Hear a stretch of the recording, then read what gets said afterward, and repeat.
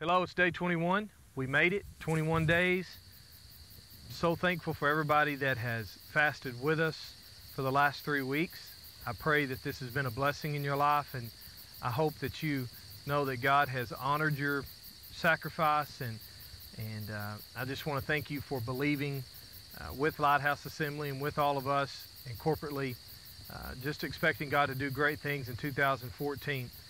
One of the things that we fasted for and really was kind of our mindset when we started three weeks ago was that we were believing for greater things for God to do in our own personal life, in our own families, but ultimately in our church and in our community.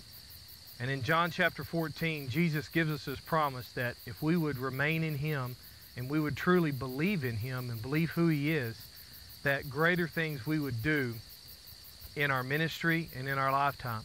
And I believe that God's wanting to do greater things in you. I believe God's wanting to do greater things in our church and in our city and in our nation. And so I pray that you would believe with me after this fast that God's going to do great things in 2014. But in order for us to do that, we've got to be willing to step out of the shadows and step out of uh, the background and be willing to stand and be bold for what we believe and for who we are, and especially for what God's called us to do. And in order for us to do that, we got to be willing to step outside of our comfort zone and be willing to to get in around the sin and around the people that are hurting.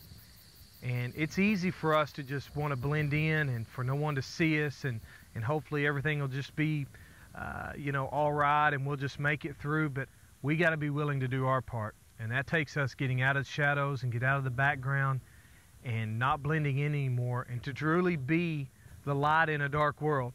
He's very clear that we're to be in this world but not of this world. And so, in order for you and I to see greater things take place in our life and greater things take place in our families and in our ministry, we got to be willing to get outside of our comfort zone and not just lay back and just want to blend in with everybody else, but we got to truly stand out as the light of the world, as scripture says, as like a city set on a hill, so that everyone can see and know that there is something different. There is a different option. That there, more importantly, that there's one option. There's one way to heaven. There's one way to experience victory. There's one way to experience peace.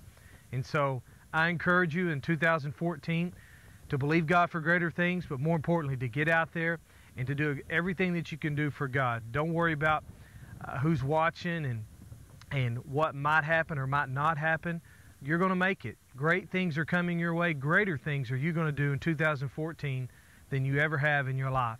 I believe that with all my heart. Thank you again for fasting with us for 21 days, 2014. Greater things. God bless you, and I'll see you next year.